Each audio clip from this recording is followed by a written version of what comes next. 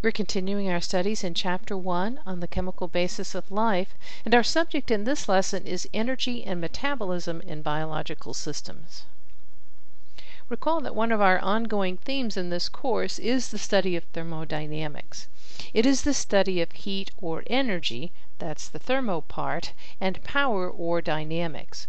In other words, how can we use energy to carry out our biological work? Recall that the first law of thermodynamics states that energy can neither be created or destroyed. All we can do is convert it from one form to another. Since all living organisms must obey the laws of thermodynamics, it becomes important for us to, to understand the principles behind these laws and how they cooperate in the functioning of these biochemical systems. At the top of our slide is the most common expression for the Gibbs free energy of a system.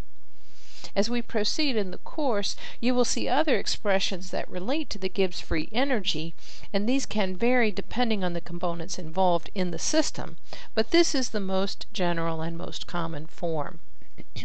You'll notice that there are delta symbols in our expression, indicating a value that represents a change in that component. The expression is equally valid without the delta symbols, but in that case they would be absolute values. Since we don't have a way of determining these absolute values, instead we measure the change or delta value. In this expression, G stands for the Gibbs free energy in units of joules per mole and represents that portion of an energy change, the delta H, that is available or free to do work hence the name the Gibbs free energy. H is the symbol for enthalpy, also in units of joules per mole, and it is a measure of the total energy or heat content of the system. The higher this value, the greater the energy change. A negative change indicates that heat is released, whereas a positive change indicates heat is absorbed. The entropy of the system is indicated by the letter S and is in units of joules per Kelvin moles. It is a measure of the disorder or randomness of the system. Or perhaps a better way of expressing it is that it indicates how the energy is dispersed. The more positive the change in entropy, the more the energy is dispersed. You'll notice that the entropy component is modified by the temperature, or T, in Kelvin. So as the temperature increases, so does the randomness of the system. That is, it's harder for the molecules or groups to stay together.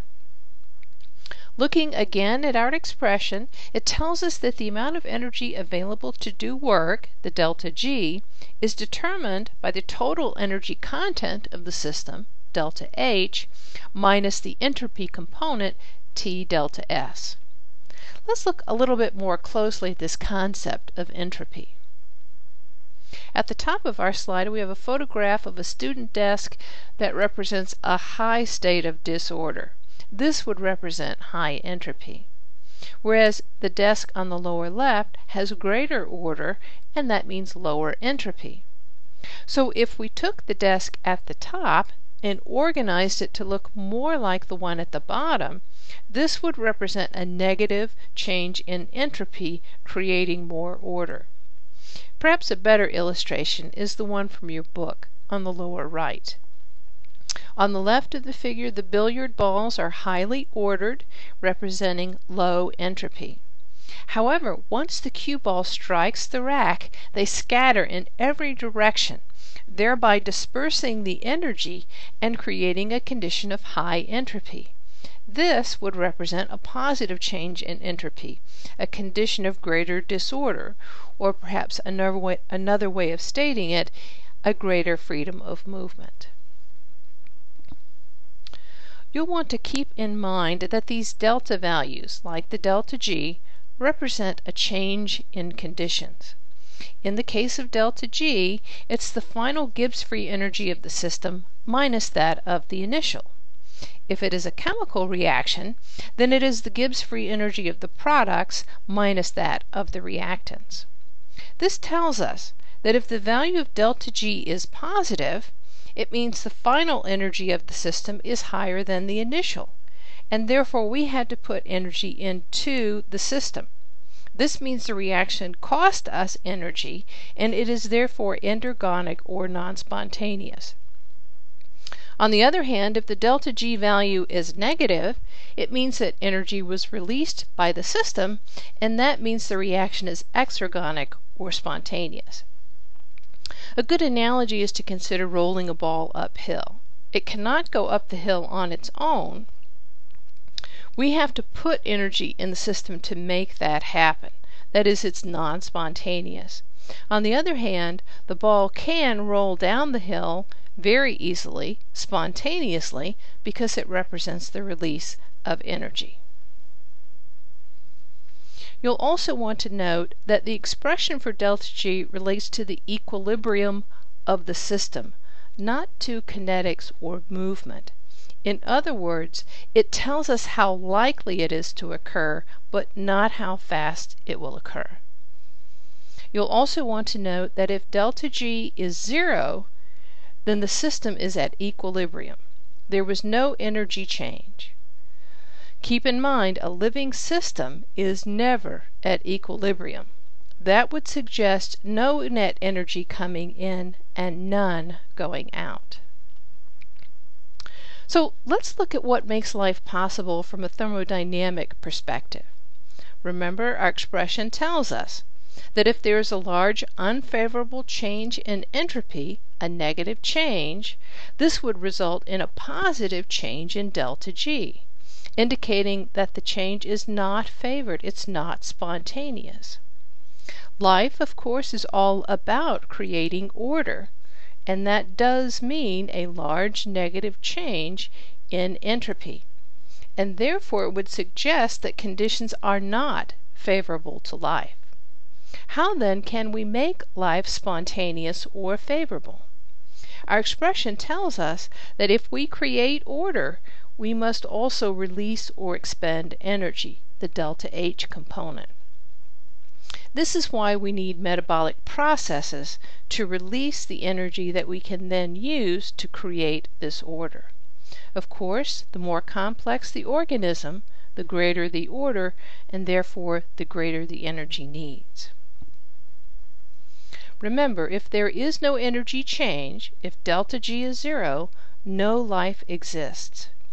So instead, therefore, of striving for equilibrium, an organism works towards homeostasis, literally meaning similar standing still. We want to maintain a stable set of conditions like pH and temperature. In other words, we want a stable condition of non-equilibrium where the net change in the Gibbs free energy is less than zero. One of the ways we can make an unfavorable reaction occur is to couple it with one that is favorable. As illustrated in our figure, the reaction on the left that converts reactant A to product B is unfavorable. The delta G value is a positive 15 kilojoules per mole.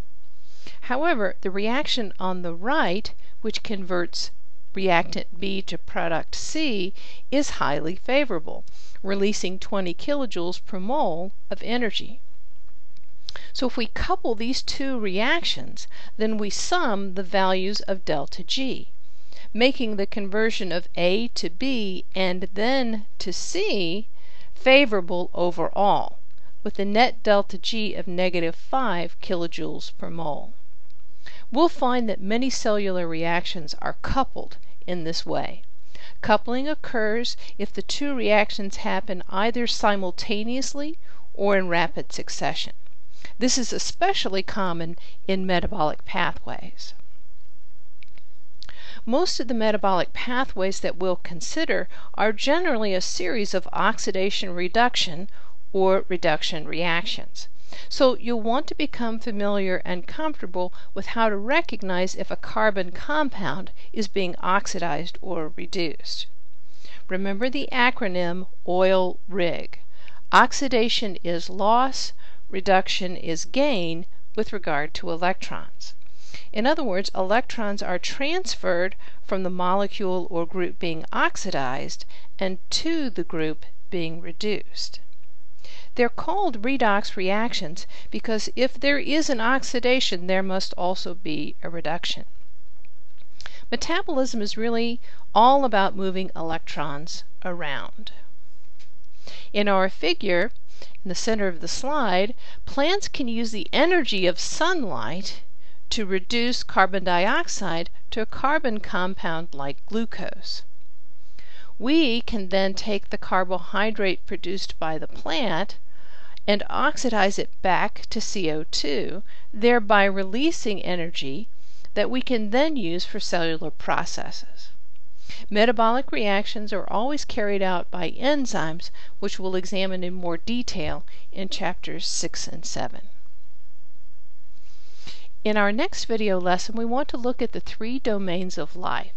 How are they classified and what are their characteristics?